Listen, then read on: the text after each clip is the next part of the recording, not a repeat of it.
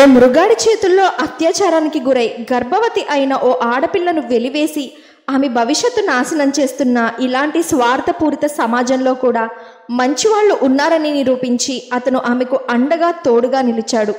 అసలేం జరిగింది? ఆ అభాగ్యురాలి భవిష్యత్తు ఏమైంది? అందరూ తప్పక వినవలసిన అనాదిగా అన్యాయమవుతున్న ఆడపిల్ల కథ. మీరు నాకు అబార్షన్ చేయాలి డాక్టర్ అంటూ సన్నగా కంపిస్తున్న స్వరంతో అన్న ఆ యువతి వంక పరిశీలనగా చూసింది డాక్టర్ ధరణి.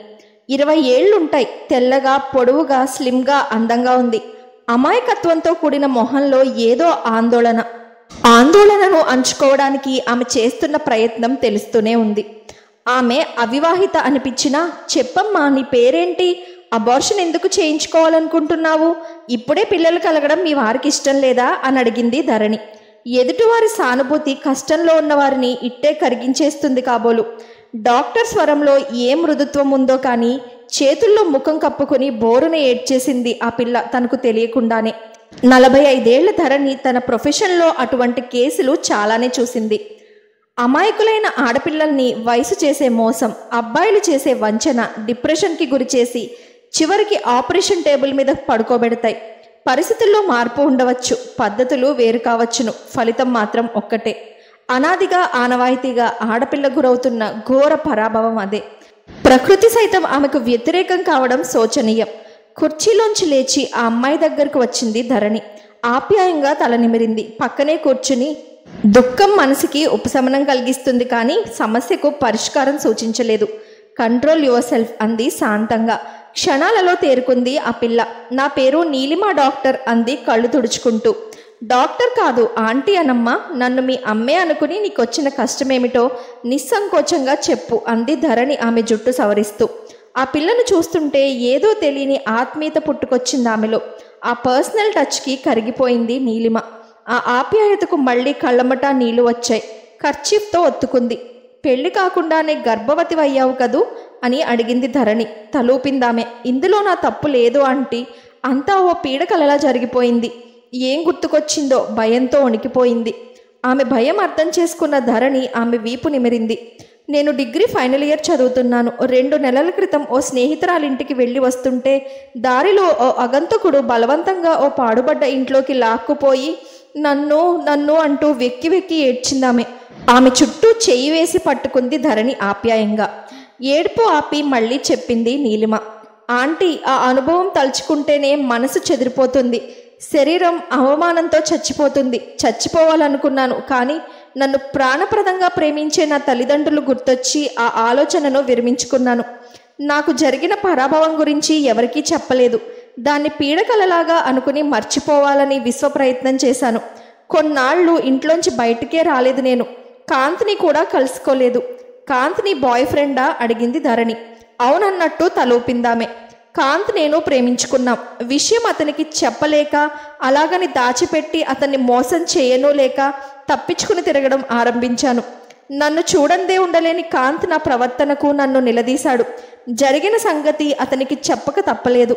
అంతా ఆలకించి తనేమన్నాడో తెలుసా ఆంటీ? పేలవంగా నవ్వింది ధరణి. ఎంగిలాకుని తాను ముట్టలేను అనుంటాడు. నువ్వు లేకుంటే చచ్చిపోతానని డైలాగులు చెబుతూ ప్రేమ దోమ అంటూ అంతవరకు నీ వెంటపడి వేధించినవాడు కాస్త నీకు దూరంగా పారిపోయి ఉంటాడు. ఏ మగాడి చరిత్ర తిరిగేసినా కనిపించే రంగు ఇదే కదా అంది నిరాసక్తంగా. లేదాంటీ మీరు పొరబడుతున్నారు. నా కాంత్ అలాంటివాడు కాదు చటుక్కున అంది నీలిమ. మలినమైన నా శరీరాన్ని తనకు అప్పగించలేనని నన్ను మర్చిపోమని అంటే అతనేమన్నాడో తెలుసా ఆంటీ? జరిగిన దాంట్లో నీ తప్పేముంది? ఇందుకు సిగ్గుపడవలసింది అవమానంతో తలదించుకోవాల్సింది నువ్వు కాదు నీలు. నిన్ను పరాభవించి తన నైతిక పతనాన్ని చాటుకున్న ఆ కామోన్మాది అటువంటి పిచ్చి కుక్కల్ని అదుపులో పెట్టలేని ఈ సోకాల్ నాగరిక సమాజం. మలినమంటూ అంటితే అది నీ శరీరానికే కానీ నీ మనసుకు కాదుగా. దాని గురించి అతిగా ఆలోచించి మనసు పాడు చేసుకోకు. ఇప్పటికీ ఎప్పటికీ నువ్వు నాదానివే అంటూ నన్ను తన హృదయానికి హత్తుకుని ఓదార్చాడు. నా మనసుని సేద తీర్చాడు అని చెప్పింది నీలిమ. ధరణికి ఆశ్చర్యము ఆనందము కూడా కలిగాయి. అత్యాచారానికి గురైన ఆడదాని బాధ్యత అందులో ఎంతవరకు అన్నది ఆలోచించకుండా తప్పంతా ఆమెదేనన్నట్టు స్త్రీని వెలివేసి ఆమె భవిష్యత్తును నాశనం చేసే ఈ స్వార్థపూరిత సమాజంలో కాంతు వంటి ఆధునిక భావాలు గల యువకుడు ఉండడం గంజాయి వనంలో తులసి మొక్కల ఎంతో రిఫ్రెషింగ్గా అనిపించింది. అత్యాచారం జరిపిన మగాడు ధైర్యంగా తలెత్తుకు తిరుగుతుంటే అందుకు బలైన ఆడది మాత్రం ఘోర అపరాధం చేసినట్టు నాలుగు గోడల మధ్య కృంగిపోవడమో ఆత్మాహుతికి పూనుకోవడమో అనాదిగా వస్తున్న అనాచారం. అందులో ఒక పురుషుడే కాదు సమాజం కూడా భాగస్వామి కావడం మరింత దురదృష్టకరమైన విషయం. ఆ మధ్య జరిగిన ఇలాంటి సంఘటన ఆ సందర్భంగా చెలరేగిన జాతీయ చర్చ గుర్తుకు వచ్చాయి ధరణికి. అత్యాచారం జరిపిన మురుగాన్ని శిక్షించాలని మరికొందరు మరణశిక్ష విధించాలని మరికొందరు. ఎవరికి తోచిన విధంగా వారు సూచించారే తప్ప అసలు సమస్య గూర్చి కూలంకషంగా ఆలోచించే ప్రయత్నం ఎవరూ చేసినట్టు అనిపించదు. ఈ సమాజం ఇంతే అనుకుంటూ ఈ రోజుల్లో కూడా కాంత్ లాంటి యువకులు కొందరు చీకట్లో చిరుదివ్వెల్లా ఆశల వెలుగులను విరజిమ్మడం ఆమె మదికి కొంత ఊరట కలిగించింది. ఆంటీ అని నీలిమ పిలవడంతో ఆలోచనల నుండి తేరుకుని చెప్పమ్మా అంది. కాంత్ అందించిన మనోధైర్యంతో స్వాంతనతో మానసికంగా కోలుకుంటున్నాననుకుంటే ఈ మధ్య బయటపడింది. నేను గర్భవతిని అయ్యానన్న భయంకర సత్యం అంది నీలిమ. ఆంటీ ఆ దుర్మార్గుడు వంశాంకురం నా గర్భంలో పెరగడం నాకు ఇష్టం లేదు. అందుకే అబార్షన్ చేయించుకోవాలని నిర్ణయించుకున్నాను. కాంత్ నా దురదృష్టాన్ని మన్నించి నన్ను పెళ్ళాడతానన్నా ఓ కామోన్మాది బిడ్డకు అతని తండ్రిని చేయలేను. తెలిస్తే ఈ బిడ్డకు తండ్రి అవ్వడానికి కూడా వెనకాడడు కాంత్. అందుకే ఈ విషయం అతనికి చెప్పలేదు నేను. కొద్ది క్షణాలు వారి మధ్య నిశ్శబ్దం అలుముకుంది. ఆ పిల్ల మానసిక స్థితిని అర్థం చేసుకోవడానికి వ్యక్తిత్వాన్ని అంచనా వేయడానికి ప్రయత్నిస్తోంది ధరణి. ఆమె పైన విపరీతమైన జాలి కలుగుతోంది. డాక్టర్ ఏం చెబుతుందా అని ఎదురుచూస్తుంది నీలిమ. నీలిమ అంటూ నిశ్శబ్దాన్ని చీల్చుతూ అంది ధరణి. నువ్వున్న పరిస్థితుల్లో ఏ ఆడపిల్లైనా ఇలా ఆలోచించడం సహజమే. అయితే ఇప్పుడు నీకు కథ చెప్తాను. దాన్ని విన్నాక తుది నిర్ణయం తీసుకుందో గాని అని చెప్పింది డాక్టర్ ధరణి. కథ అనేసరికి ఆసక్తిగా చూసింది నీలిమ. లహరి అందమైన పిల్ల. ఫైనల్ ఇయర్ ప్రొఫెషనల్ కోర్స్ చదువుతోంది. ఆస్తిపరులైన తల్లిదండ్రులకు ఏకైక సంతానం. ఆమెకు ఓ మేనమామ ఉండేవాడు. ఏదో ఉద్యోగం చేసేవాడు అతను లహరిని పెళ్ళాడాలని ఉవ్విళ్ళూరేవాడు. లహరికి మేనమామను చేసుకోవడం ఇష్టం లేదు. ప్రసాద్ అనే యువకుడిని ప్రేమించిందామె. ఏదో బిజినెస్ చేసేవాడు అతను చదువు ముగియగానే తల్లిదండ్రుల అనుమతితో అతన్ని పెళ్ళి చేసుకోవాలని అనుకుంది. ఓసారి అమ్మమ్మను చూడ్డానికి వాళ్ళ ఊరికి వెళ్ళింది లహరి. ఓ రాత్రి ఆ పిల్లకు పాలల్లో మత్తుమందు కల్పించి ఆమెను బలవంతంగా అనుభవించాడు మేనమామ. అందువల్ల ఆమె తప్పనిసరిగా తననే పెళ్ళాడుతోందన్న ఆలోచనతో ఆ పని చేసినట్టు ఒప్పుకున్నాడు అతను మనవరాలు ఆమె వెనుక ఉన్న గంపెడు ఆస్తి బయటకు పోకూడదన్న ఉద్దేశంతో అమ్మమ్మే ఆ సలహా ఇచ్చిందన్న చేదు నిజం తెలుసుకుని నిర్ఘాంతపోయింది లహరి. మై గాడ్ అయిన వాళ్ళే మోసం చేస్తే ఇక పరాయి వాళ్ళ సంగతి ఏమిటి? అంటూ ఆశ్చర్యపోయింది నీలిమ. స్వార్థం మనిషితో ఎంత పనైనా చేయిస్తుంది నీలిమ అంది ధరణి. అయితే లహరి మేనమామనే పెళ్ళాడిందా కుతూహలంగా అడిగింది నీలిమ. లేదు అలాంటి నికృష్టుణ్ణి పెళ్ళాడడం కంటే కన్నెగానే మిగిలిపోతానంది. అయితే రెండు నెలల తర్వాత కానీ తెలిసి రాలేదు ఆమెకి. మేనమామ జరిపిన అత్యాచారపు ఫలితమేమిటో? తాను గర్భిణి అని తెలియగానే అప్సెట్ అయినా అందుకు కారకుడైన వాణ్ణి చేసుకోవడానికి ఒప్పుకోలేదు. తన ప్రియుడైన ప్రసాద్తో విషయమంతా దాచకుండా చెప్పేసి సలహా అడిగింది.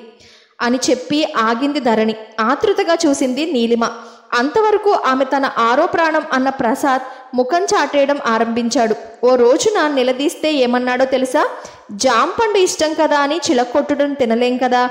ఎంగిలి పళ్ళకు దోశలు పట్టేంత విశాల హృదయం నాకు లేదు. మీ మామయ్యనే చేసుకో అని సలహా ఇచ్చాడు. ఓ నో అంటూ నీలిమ అరచింది. ఈ సమాజంలో అధిక శాతం మగవాళ్ళు అంతే నీలిమ ప్రసాదు సగటు మగాడే. నీ ప్రియుడు లాంటి వాళ్ళు ఎక్కడో ఒకటి అరా ఉంటారంతే అంది ధరణి. లహరి బేల కాదు ఎవరో చేసిన తప్పుకు కడుపులోని ప్రాణిని చంపడానికి ఇష్టపడలేదు. ధైర్యంగా బిడ్డను కని పెంచుతానంది తాను పెళ్ళి చేసుకోనంది. ఆమె మనోభావాలను గౌరవించి అండగా నిలిచే తల్లిదండ్రులు దొరకడం ఆమె అదృష్టం. అయితే లహరి అసలు పెళ్ళి చేసుకోలేదా? ఆంటీ విస్మయంగా అడిగింది నీలిమ. లేదమ్మా ధైర్యంగా పిల్లాన్ని కంది. ఆగిపోయిన చదువుని కొనసాగించి పట్టాపుచ్చుకుంది మనోస్థైర్యంతో కొడుకుని పెంచి ప్రయోజకుణ్ణి చేసింది అంది ధరణి. ఓ క్షణం వారి మధ్య నిశ్శబ్దం ఆవరించుకుంది. లహరి కథ గుండె బరువెక్కిస్తోందా ఆంటీ అంది నీలిమ బాధగా. అది కథ కాదు నీలిమ జీవితం అంది ధరణి. కాంత్ వంటి ఉత్తముడు ప్రియుడుగా లభించినందుకు నువ్వు బిడ్డను కని సాకుతావో లేక అబార్షన్ చేయించుకుని ఓ అమాయకపు ప్రాణాన్ని గుడ్డులోనే త్రుంచేస్తావో బాగా ఆలోచించుకో. తుది నిర్ణయం నీదే అని చెప్పింది ధరణి. మర్నాడు నీలిమ వచ్చి నా సమస్యను కాంతితో పంచుకున్నాను ఆంటీ ఆ బిడ్డ మన బిడ్డ అబార్షన్ అన్న ప్రసక్తే లేదు అన్నాడు. రేపే వాళ్ళ పెద్దవాళ్ళతో విషయం చెప్పి మా పెళ్ళి గురించి మాట్లాడతానన్నారు డాడీ కూడాను. థ్యాంక్ యూ సో మచ్ అనేసరికి సంతోషపడింది ధరణి. బెస్ట్ ఆఫ్ లక్ మీ మ్యారేజ్కి నన్ను పిలవడం మర్చిపోకేం అంటూ ఆ పిల్ల నుదుటను ముద్దు పెట్టుకుంది. మమ్మీ షీఈస్ నీలిమ అంటూ కొడుకు పరిచయం చేస్తుంటే ఆ అమ్మాయి వంక చూసిందామే. అదే సమయంలో నమస్తే ఆంటీ అంటూ చేతులు జోడించిన నీలిమ ఆవిడ వైపు చూసి తెల్లబోయింది. ఆంటీ మీరా? అంది. నీలిమ? అంది డాక్టర్ ధరణి కూడా ఆశ్చర్యంతో. మీరు అంటూ నీలిమకు మాటలు రావడం లేదు. ధరణి నవ్వి అవునమ్మా నేను శశికాంత్ తల్లిని అంది. చూసావా జీవితం ఎంత చిత్రమైనదో? మళ్ళీ మనం ఇలా కలుస్తామనుకోలేదు కదూ? అనుకోనివి జరగడము అనుకున్నవి జరగకపోవడమేనేమో జీవితం అంటే. ధరణి కొడుకు శశికాంత్ విస్తుపోతూ నీలిమ నీకు ముందే తెలుసా మమ్మీ? అన్నాడు. మందహాసం చేసిందామే. అంతలో తండ్రి లోపలికి రావడంతో ఆంటీ ఈయన మా డాడీ దుర్గాప్రసాద్ అంటూ పరిచయం చేసింది నీలిమ. నమస్తే అంటూ అతని వైపు చూసిన ధరణి చిన్నగా ఉలికిపడింది. లహరి నువ్వా అన్నాడతను నిర్ఘాంతపోతూ. యాభై ఏళ్ళుంటాయి అతనికి. ధరణి కూడా తెల్లబోతూ ప్రసాద్ నువ్వేనా అంది. నీలిమ నీ కూతురా? జవాబుగా తలదించుకున్నాడు దుర్గాప్రసాద్. హ విధి విలాసం కాకపోతే ఇన్నేళ్ళ తర్వాత మనం మళ్ళీ ఇలా కలుసుకుంటామనుకోలేదు కదూ అని అన్నది ధరణి. ఆంటీ మా డాడీ మీకు ముందే తెలుసా? నీలిమ ఆశ్చర్యంగా అడిగింది. మీ పేరు ఎస్ నీలిమ నా పూర్తి పేరు ధరణి లహరి. ఆమె భావం గ్రహించి అంది ధరణి. అయితే మీరు చెప్పిన కథలోని లహరి మీరే కదూ? ఉద్వేగానికి గురైంది ఆ పిల్ల. చిన్నగా తలూపింది ధరణి. మిమ్మల్ని కాదన్న ఆ ప్రసాద్ మా డాడీయే కదూ? అడుగుతుంటే ఆ పిల్ల అధరాలు సన్నగా కంపించాయి. జీవం లేని చిరునవ్వు జవాబైంది ఆమెకు. నన్ను క్షమించు లహరి ఏదో తెలిసి తెలియని వయసులో అలా జరిగిపోయింది. అపాలజెటిక్గా అన్నాడు నీలిమ తండ్రి. అదంతా మనసులో పెట్టుకుని నా కూతురికి అన్యాయం చేయకు నో అంటూ అరిచింది నీలిమ. పదడాడి వెళ్ళిపోదాం అంటూ గుమ్మం వైపు తిరిగింది. తెల్లబోయి చూసారంతా నీలిమ ఏమైందమ్మా? అని అడిగింది ధరణి ఆ పిల్ల చేయి పట్టుకుని ఆపుతూ వద్దు ఆంటీ ప్రేమించిన పడితిని వంచిన ఓ అవకాశవాది కూతురిగా నేను మీ దయకు పాత్రురాలిని కాలేను. చరిత్ర పునరావృతం కావడం అంటే ఇదే కాబోలు. ఆనాడు ఈయన మీకు విధించిన శిక్షను ఈనాడు తన కూతురు కూడా అనుభవిస్తే తప్ప తెలిసిరాదు. తండ్రి వంక అసహ్యంగా చూస్తూ ఆవేశంగా అందామే. బేబీ అంటూ తెల్లబోయాడు తండ్రి. ప్రసాద్ ఆ రోజు నేనున్న పరిస్థితుల్లో ఈ రోజు నీ కూతురుంది. తప్పు తనది కాకపోయినా నిస్సహాయ స్థితిలో తనకు జరిగిన అవమానం భరించలేక నీలిమ ఆత్మహత్య చేసుకోవాలనుకుంది. అదే జరిగితే నువ్వు నీ భార్య ఏమైపోయి ఉండేవారు? శాంతంగా అంది ధరణి. ఆందోళనగా కూతురి వంక చూశాడు దుర్గాప్రసాద్. నీ వరకు వస్తే కానీ ఆ నరకం ఏమిటో బోధపడలేదు కదూ నీకు? ప్రసాద్ ఓ నిజం చెప్పనా? మా మామయ్య నా శరీరం మీద చేసిన దాడి కంటే నీ తిరస్కారం చేసిన మానసిక గాయమే అమితంగా కృంగదీసింది నన్ను. నన్ను దక్కించుకోవాలనుకున్న తపనతో మా మావయ్య నాపై అత్యాచారం జరపడం అర్థం చేసుకోగలను. కానీ ప్రాణప్రదంగా ప్రేమించిన నా అనుకున్న వ్యక్తి తిరస్కారానికి గురి కావడం ఊహకందని విషయం. రేపిస్ట్ ఉన్మాదం చేసే గాయం కొద్ది రోజుల్లో మాసిపోవచ్చును. కానీ చుట్టూ ఉన్నవారు చేసే మానసిక గాయాలే మాయని గాయాలై జీవితాంతము మిగిలిపోతాయి వేధిస్తాయి. ప్లీజ్ లహరి అదంతా మనసులో పెట్టుకోకు. నీలిమ అమాయకురాలు. ఆడపిల్ల ఎప్పుడూ అమాయకురాలే ప్రసాద్. మధ్యలోనే అడ్డు తగిలిందామె.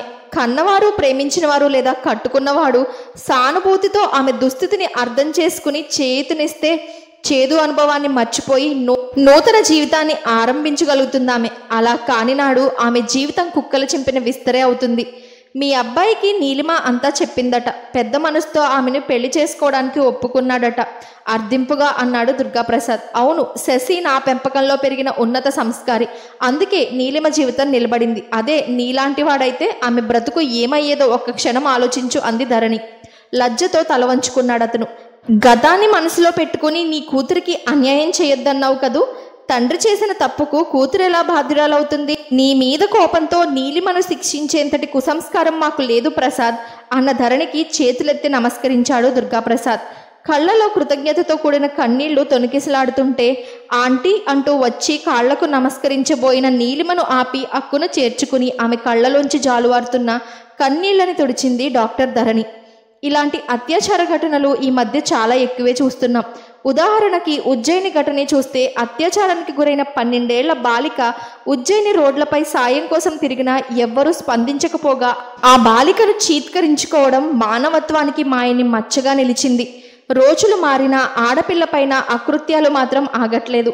సమాజంలో ఆడపిల్ల పట్ల కొందరు కీచుకుల దృష్టిలో మార్పు రాకున్నా కొంతమంది మనసుల్లో మార్పు రావడం వలన స్త్రీ పట్ల వారి దృక్పథంలో ఆరోగ్యకరమైన ఆలోచన చోటు చేసుకుంటుంది. ఇది హర్షించదగ్గ పరిణామం. చక్కటి అవగాహన కలిగిన కథ ఇది. మానవత్వం స్వాభిమానం వంటి విలువలు కలిగిన కథలు ఇంకెన్నో రావాలి.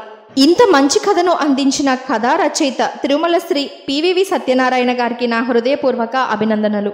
మిత్రులారా ఈ కథ మీకు నచ్చిందా? నచ్చితే వీడియోకి ఒక లైక్ చేయండి. మరిన్ని ఇలాంటి కథల కోసం నా ఛానల్ను సబ్స్క్రైబ్ చేసుకుని పక్కనే ఉన్న బెల్ ఐకాన్ యాక్టివేట్ చేసుకోవడం వల్ల నేను ఎప్పుడు కథలు పెట్టినా మీకు నోటిఫికేషన్స్ వస్తాయి. Thank you for watching.